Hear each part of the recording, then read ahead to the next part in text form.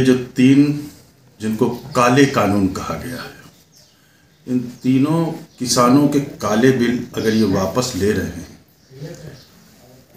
तो लमसम एक साल हो गया इन लोगों को, किसानों को धरना प्रदर्शन करते हुए। कम से कम 600 किसानों की शहादत हो गई।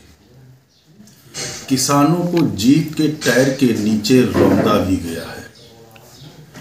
और इतनी बड़ी संख्या में किसानों की शहादत हुई उसके बाद अगर हिंदुस्तान के प्रधानमंत्री के कान में ये बात जो रेंगती है और वो कह रहे हैं कि ये हम तीनों कानून वापस लेंगे। इन्होंने बहुत देर कर दी है।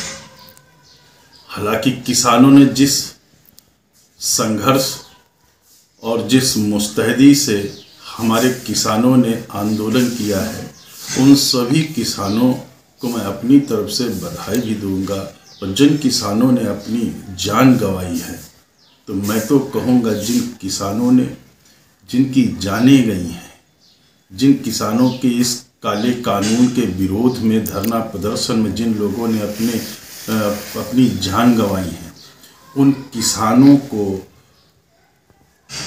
उनको ऐसा दर्जा हिंदुस्तान की सरकार दे जैसे स्वतंत्रता संग्राम सेनानी होते हैं, वैसे ही किसानों ने जिस तरीके से अपनी जान गंवाई है, उनके परिवार के लोगों के लिए जिन किसानों के परिवार हैं, उनको एक एक सरकारी नौकरी दे। और जिन किसानों ने जान गंवाई है, उनकी आर्थिक मदद भी होनी चाहिए।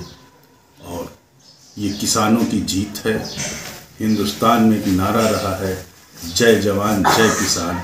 मैं शहादत देने वाले किसानों को भी प्रणाम करता हूँ और जिन किसानों ने संघर्ष किया और आज तक वो डटे रहे हैं, मैं उनको भी बधाई दूँगा कि किसानों के आगे हिंदुस्तान की सरकार नतमस्तक हुई और कानून वापस ले।